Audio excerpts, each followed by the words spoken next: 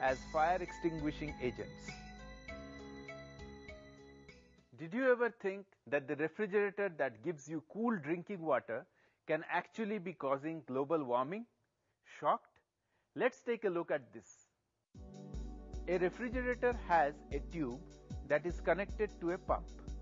Inside this tube is freon, a type of chlorofluorocarbon. If this gas leaks from the refrigerator, it can react with ozone in our atmosphere and lead to holes in the Earth's ozone layer, which means that the ozone can no longer protect the Earth and allows harmful UV radiations to enter. These harmful